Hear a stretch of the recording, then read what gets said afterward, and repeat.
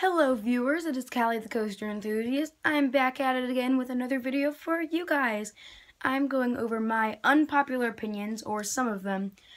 I just want to be sure, do not hate on my opinions. Um, they are pretty out there, just a warning, so if you get triggered by unpopular opinions, then I would leave.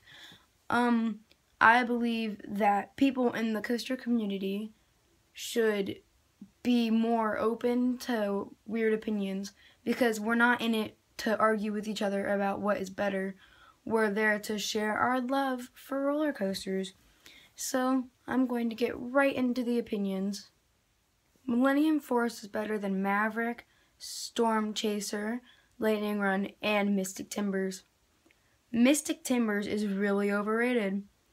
Magic Mountain seems better than Great Adventure, but don't take that one too seriously because I've never been to either of them. Kings Island will never be better than Cedar Point. Intamin is better than B&M.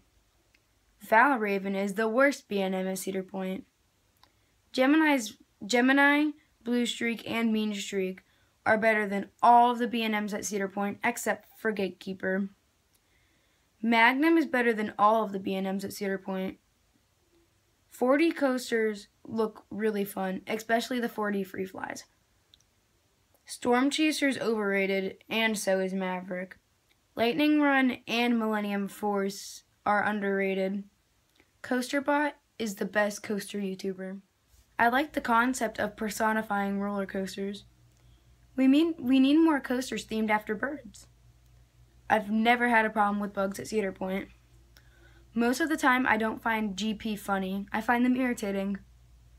Raptor at Cedar Point isn't that good. It's overrated.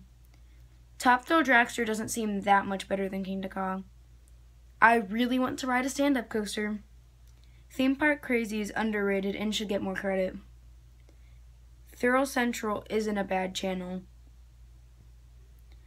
The coaster community isn't as bad as people say it is. Rougarou isn't that good, but it's not horrible. Corkscrew is worse than T3. And Diamondback is almost as pretty as Gatekeeper, but it's not. that is all my unpopular opinions for today. Thank you for watching. If you liked this video, go press the thumbs up button. I have a challenge, do it with your thumb. Comment down below something positive because I don't want negativity. But you can comment anything as long as it's not like rude or anything. If you like this video, go subscribe and watch all of my other videos because they are similar to this one. Um, if you like all the videos and subscribe, you can also follow my Instagram. It is at Callie the Coaster Enthusiast. So it's the same as my username on YouTube. I hope you all have a Six Flags day. I am Callie the Coaster Enthusiast. I will see you guys next time.